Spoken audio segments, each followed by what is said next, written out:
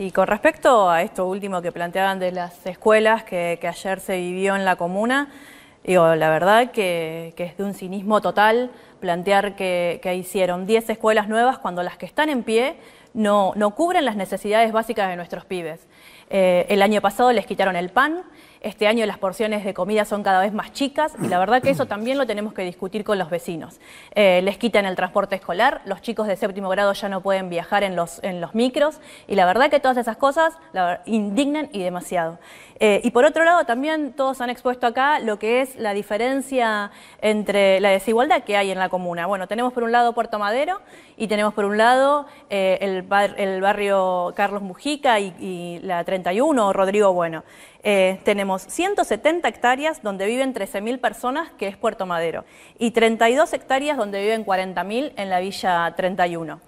Eh, y vivienda ociosa, por donde se la mire, de lugares que están en Puerto Madero, tenemos más de 200.000 viviendas ociosas en todo Cava. Nosotros desde el Frente de Izquierda tenemos una propuesta clara, que sea la redistribución de todas esas viviendas ociosas.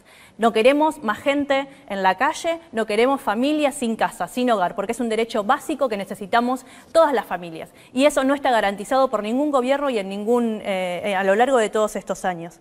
La verdad que, eh, también se ha nombrado a, a Zacarías, un vecino que se ha muerto de frío, pero no de frío, sino de de las políticas públicas que faltan para, para, la vivienda para nuestros Tiempo, tratemos